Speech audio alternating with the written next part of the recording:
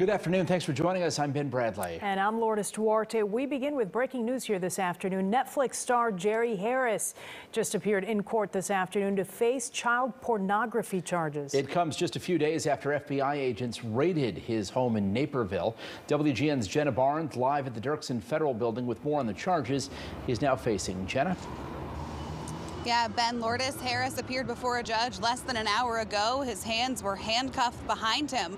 Prosecutors say the FBI arrested him this morning, and he's charged with one count of producing child pornography. I want to walk you through the allegations against him right now.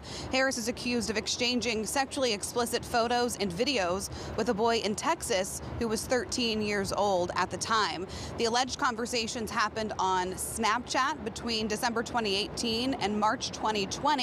The documents say Harris was at his Illinois home for some of them. He's also accused of trying to persuade that victim into in-person sexual encounters at cheer events in February and May of 2019. Investigators say he tried to do the same thing with the victim's brother. And according to the court documents, Harris admitted to as much in an interview this week. The FBI says there may be more victims. Harris is due back in court on Monday morning for a detention hearing. We'll have much more on these allegations against him coming up at 5 and 6. For now, we're live downtown. I'm Jenna Barnes, WGN News.